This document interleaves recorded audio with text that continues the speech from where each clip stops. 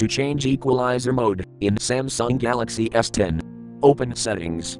From a home screen, swipe up or down from the center of the display to access the apps screen.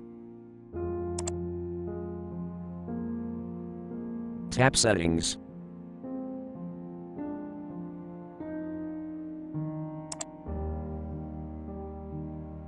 Tap Sounds and Vibration.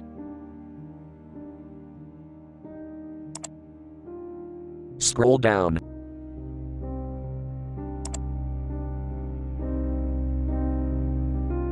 Tap Advanced Sound Settings.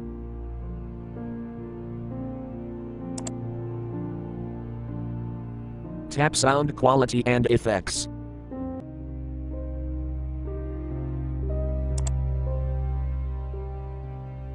Tap Equalizer.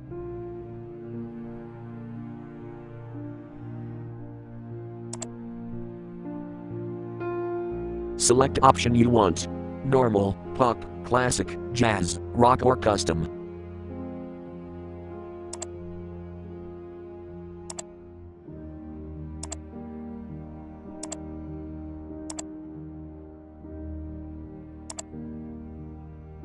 Thank you for watching, have a nice day.